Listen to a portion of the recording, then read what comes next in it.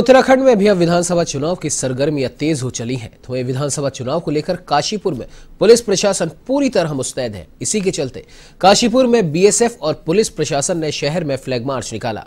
तो वही लोगों को जागरूक करने का भी प्रयास किया गया। आपको बता दें कि पुलिस प्रशासन की ओर से लोगों को मास्क लगाकर रखने और सोशल डिस्टेंसिंग का पालन करने की अपील की गई।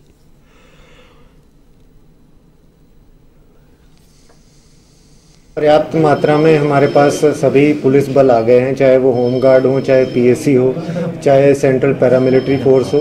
कल सात तारीख को हमारे पास 19 कंपनियाँ जो है वो पहुँच चुकी हैं और आज इसी के क्रम में दो कंपनियों के साथ फ्लैग मार्च किया गया है और जहाँ तक प्रिवेंटिव एक्शन की कार्रवाई करना या वांछित अभियुक्तों को गिरफ़्तार करना, ये सभी समस्त तरीके के जो इलेक्शन कमीशन के गाइडलाइंस हैं, उस पर कार्रवाई की जा रही है। और फ्लैग मार्च लगातार जो है वो यहाँ पे कंडक्ट किया जाएँगे इलेक्शन तक कॉन्फिडेंस बिल्डिंग के लिए पब्लिक के। सर बात करें तो ऊधम सिंह नगर की। उत्तर प्रदेश की बहुत सारे जिलों की सीमाएँ लगती हैं। ऐसे में चौदह फरवरी को क्या बॉर्डर सील रहेंगे? देखिए पचास पचास हमारे इंटर स्टेट बैरियर हैं। सबसे ज़्यादा संख्या में इस ज़िले में बॉर्डर लगता है।